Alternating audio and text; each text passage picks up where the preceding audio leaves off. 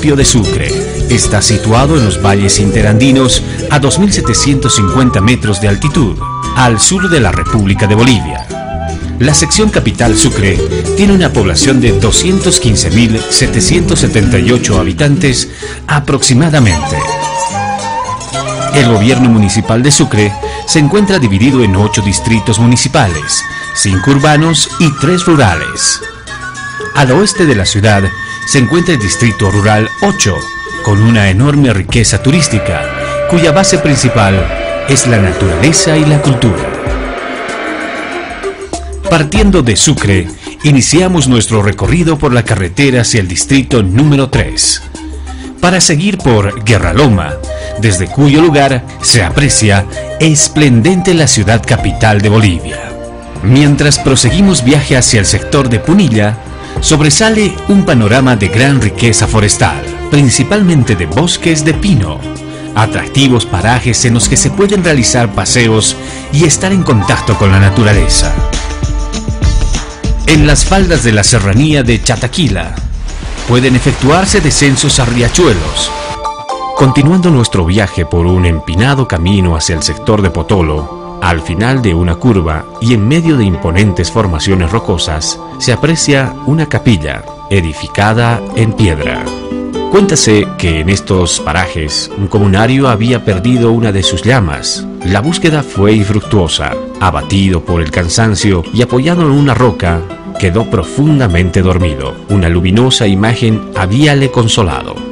Al despertar su sorpresa fue grande, pues no solo apareció el animal, sino que grabada en la piedra estaba la imagen de la Virgen de Guadalupe.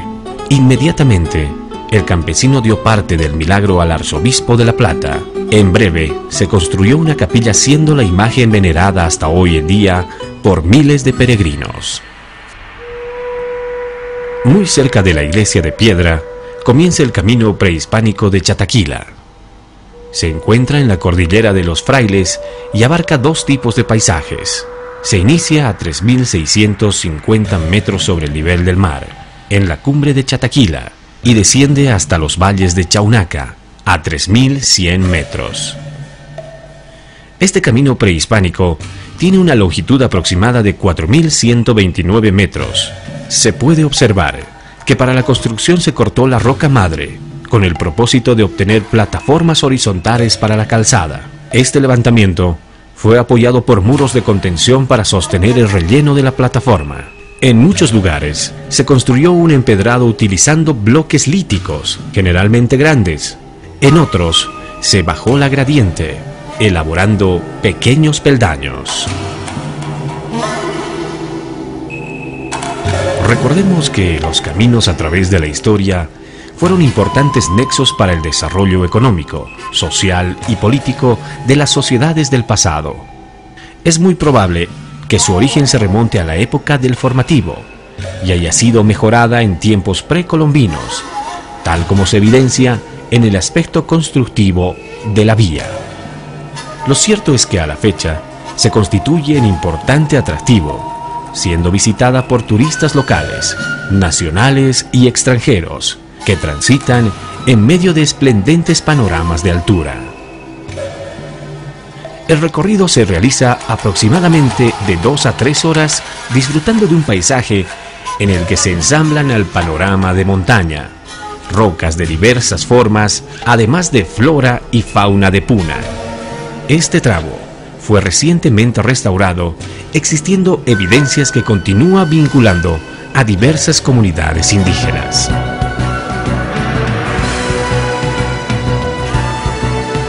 El camino carretero en descenso hacia Chaunaca permite la práctica del ciclismo, que se constituye en incomparable experiencia para sus protagonistas y en un espectáculo para los demás visitantes.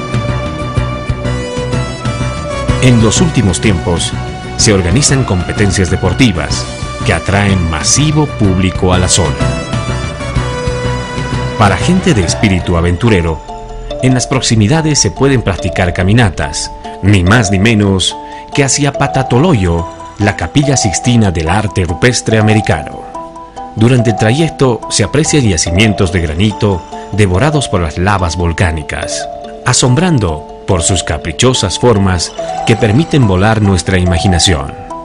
Caminamos en medio de ilusiones pétreas, que interpretamos a nuestra manera, motivados por los relatos de leyendas, cuentos míticos y fantasmagóricos del guía. La caminata, un tanto extenuante, nos hace volver a la realidad.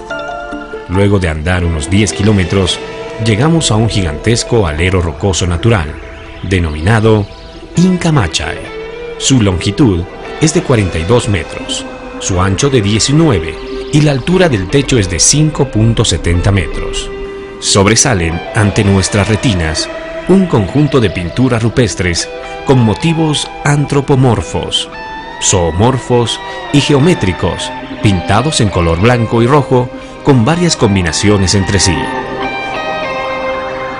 La gran mayoría de las representaciones son figuras humanas estilizadas. Un círculo como cabeza, el cuerpo y los brazos levantados aparecen como líneas. Entre las figuras zoomorfas existen posibles camélidos o ciervos. Un elemento central importante parece ser un búho, a pesar que otras teorías lo identifican como un puma. Esta otra figura ha sido interpretada como un gran batracio. En cuanto a las figuras geométricas, existen rectángulos con divisiones interiores, que al decir del investigador Edmundo Salinas, se trataría de un objeto prehispánico descrito como abaco.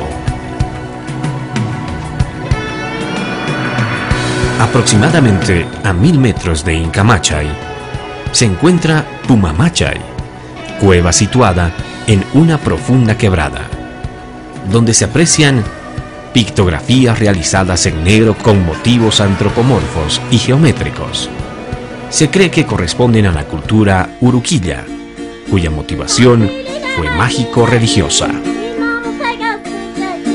A 60 kilómetros de Sucre, a una altura de 3.500 metros sobre el nivel del mar, se encuentra la comunidad de Potolo, establecida en un gran espacio abierto, entre hermosas serranías de curiosa coloración. Sus habitantes pertenecen al grupo étnico de los Jalcas.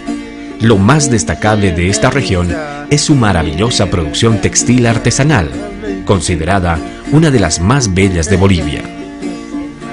Se caracteriza por el predominio absoluto de lo figurativo, en un ambiente de tonos voluntariamente oscurecidos y sin contrastes, surgen elementos llamados curus, es decir, animales salvajes e indómitos.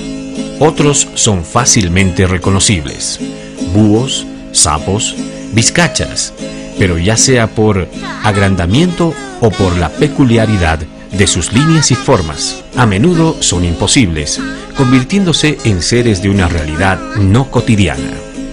Se destacan también elementos imaginarios con jorobas y ojos en las colas. Los seres humanos, cuando aparecen en el tejido, son representados de manera muy simple y esquemática, como perdidos en esta selva de animales libres, bellos y sorprendentes.